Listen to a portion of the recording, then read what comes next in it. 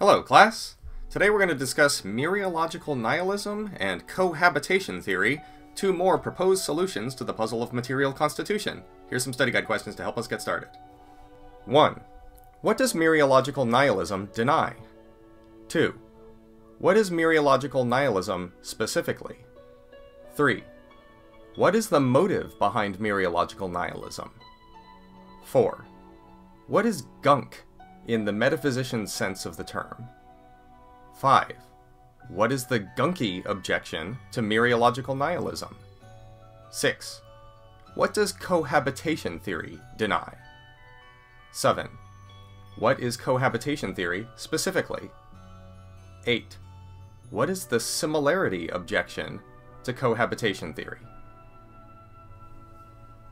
Alright, as I go through the answers to these questions, as always, you'll probably want to pause the video and write them down, type them up, crochet them into a sweater, or hammer them into an ice sculpture, however it is that you can best compartmentalize the information. So when we last left off, we had this puzzle, uh, the puzzle of material constitution. It's an inconsistent tetrad. That means that there are four assumptions, each of which seems plausible enough on its own, but together they disastrously entail a contradiction, and we're trying to find which of these assumptions is the one that we want to deny. Mereological nihilism is the view which denies the assumption that Sider calls existence. In other words, mereological nihilists deny that there are such things as statues or hunks of clay. And there's nothing special about either of those types of objects either. Mereological nihilists deny that there are any composite objects. So there are no statues or lumps of clay, but neither are there coffee mugs, hunks of ceramic, kittens, hunks of cat meat, Shoes, ships, sealing wax, cabbages, and kings. Mereological nihilists do not believe in any composite objects. In other words, they do not believe in any objects that have parts. Now, how do they get away with that? Let me tell you a story. I'd like you to imagine an expanse of absolutely empty space. Nothing in it whatsoever, just a vast emptiness. And then, floating in that emptiness, are a bunch of perfectly round, chemically pure iron ball bearings. They're just floating around in space. Chemically pure iron, all perfectly round, and they're floating about. I want you to imagine that sometimes the ball bearings cluster together, Sometimes they spread apart, they can be condensed and rarefied in various patterns. And let's ask the question, what would it take for there to be anything in this universe that you're imagining?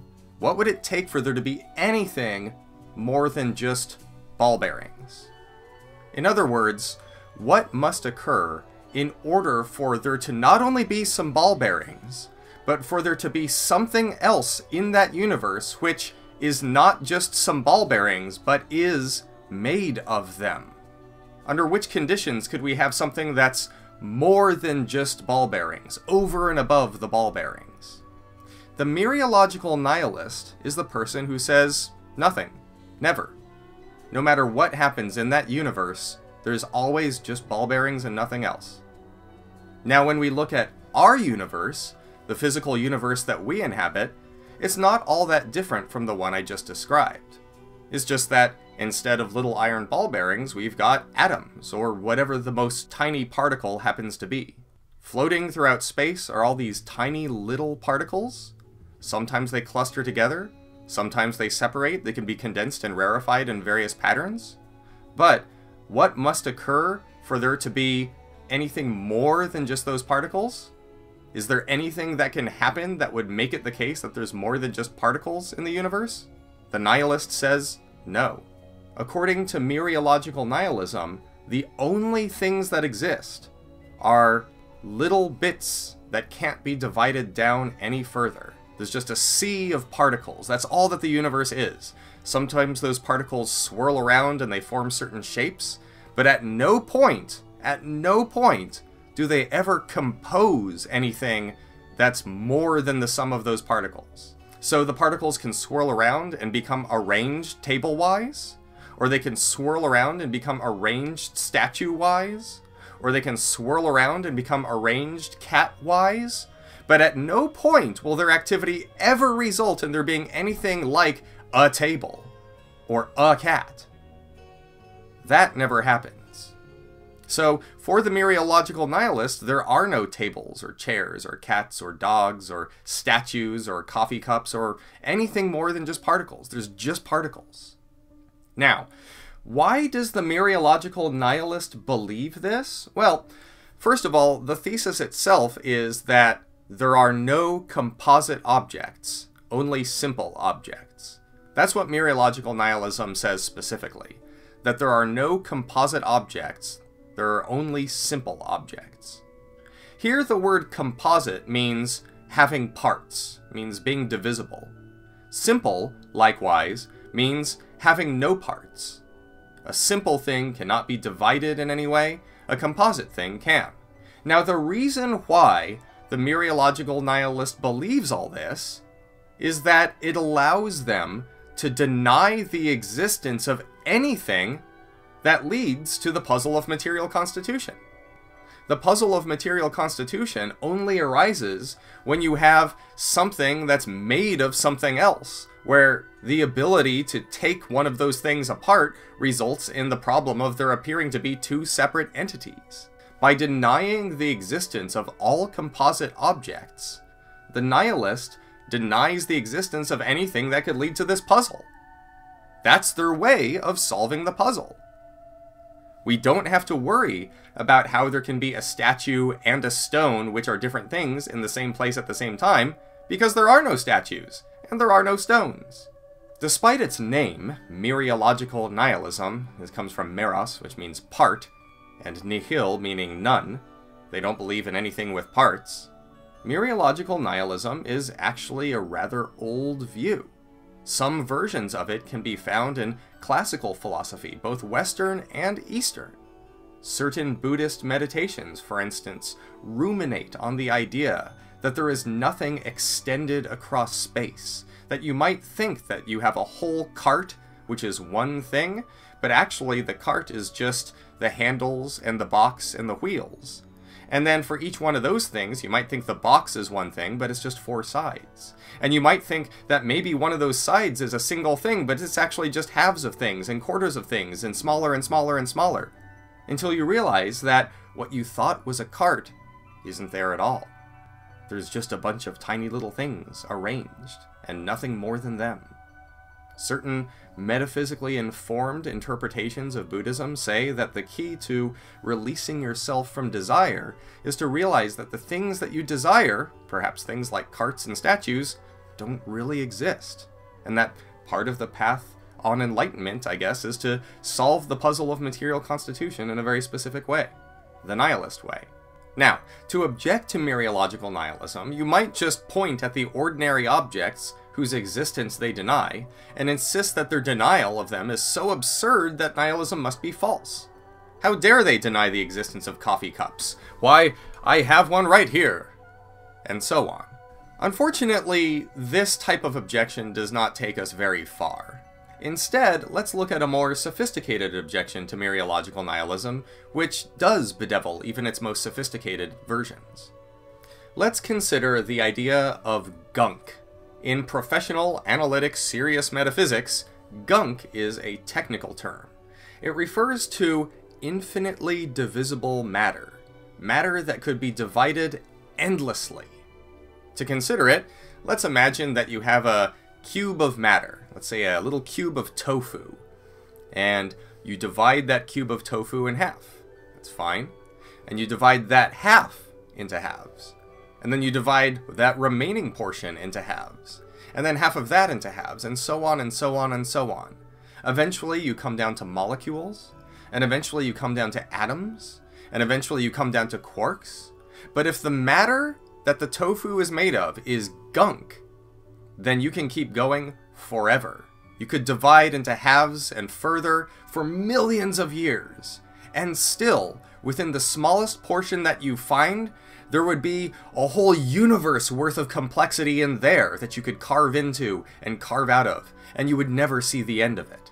That is what gunk is, is infinitely divisible matter, bottomless matter, matter with no tiny ultimate constituents, no smallest bits.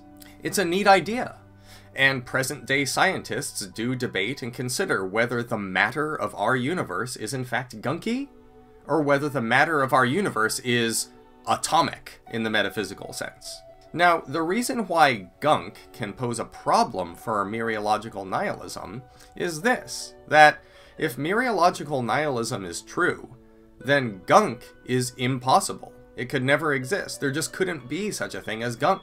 However, when we think about it, gunk is possible. Even if our universe doesn't happen to be gunky, it could have been. Even if matter does have a bottom level in our universe, it might not have. Our universe could have gone a different way. It could have gone away where matter was infinitely divisible. There's certainly no contradiction in the idea. It's perfectly possible in that sense. So, there's this thing which is possible, but mereological nihilism entails that it's not possible. So much the worse for mereological nihilism. That's the way that the argument goes. Now, why think that mereological nihilism entails that gunk is impossible? Well, if mereological nihilism is true, then there cannot be any composite objects. And yet, if gunk exists, if a universe is made of gunk, then all objects are composite. Even if you cut matter in half again and again and again and a million times again, what you'll end up with is something that can be divided further. Some little particle that has two halves. And then you can raise the puzzle of material constitution. Is the particle identical to the pair of its halves?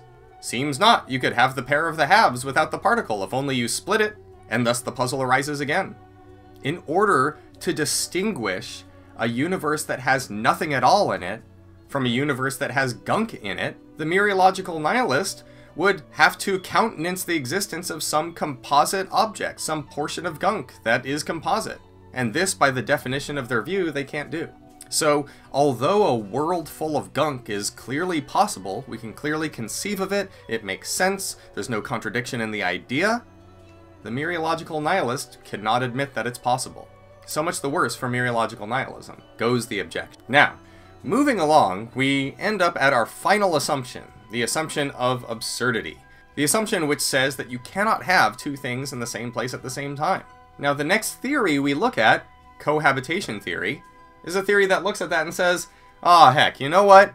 After discussing this puzzle for a while, it seems like we should just admit that we learned something. We walked into the puzzle thinking you can't have two things at the same place at the same time, but once I hear all these cases about the coffee mug and the ceramic and the statue and the clay and the kitten and the cat meat, and once I think about that and I look at how silly the other attempts are to get out of this puzzle, we should probably just, you know, admit that you can have two things in the same place at the same time. We were wrong. Our intuition was wrong. You can have two things in the same place at once. The statue and the clay are two things in the same place at once. The kitten and the cat meat are two things in the same place at once. The coffee mug and the ceramic are two things in the same place at once, and so on. That's what cohabitation theory says. Cohabitation theory specifically says that you can have two things or more in exactly the same place at exactly the same time. That's the theory. What's wrong with that? Well, I'll tell you. Here's a principle that should seem pretty acceptable. That if two things, A and B, are exactly similar, then it makes no sense for A to survive something that B cannot. That should seem true. After all, if I have two things and they're exactly similar, they're made of the same material, they're the same color, they're the same size, the same shape, the same weight, the same internal complexity and structure, they're exactly the same in every occurrent way, except that this one cannot survive being thrown into a fire. That should seem absurd. And the reason why it should seem absurd is that we tend to explain what things can undergo in terms of their occurrent features, in terms of those features we can detect and see that are manifest in their appearance. If one thing can survive a fire, but another thing cannot, it seems like there should be a difference in how those things are. There should be a difference in their chemical composition, or in their size, or their shape, or something. If one of them cannot survive a fire, but the other one can, there should be a difference between them. However, if cohabitation theory is true, it's possible for two exactly similar things, A and B, to differ in what they can undergo. The statue cannot survive being squished, but the lump of clay can. And yet, the statue and the lump of clay, at least before the squishing, are as exactly alike as can be. They have the same shape, the same size, the same dimensions, the same internal complexity, the same chemical composition, even the same location. Exactly alike in every way, except that one of them can survive a good squishing and the other one cannot. Well, given our first principle, that's absurd and so much the worse for cohabitation theory. This is what we'll call the similarity objection to cohabitation theory. The similarity objection says that you can't have exactly similar things that are different in their persistence conditions, and yet this is what you have if cohabitation theory is true. So much the worse for cohabitation theory. So, those are a couple more proposed solutions to the puzzle of material constitution, mereological nihilism and cohabitation theory, along with a couple of puzzles which threaten them, or a couple of objections. Next time, we're going to jump in and take a look at what Ted Sider's own proposed solution is, and this is a solution which has to do with a view of time as well as a view of material objects. Thanks for watching, see you soon.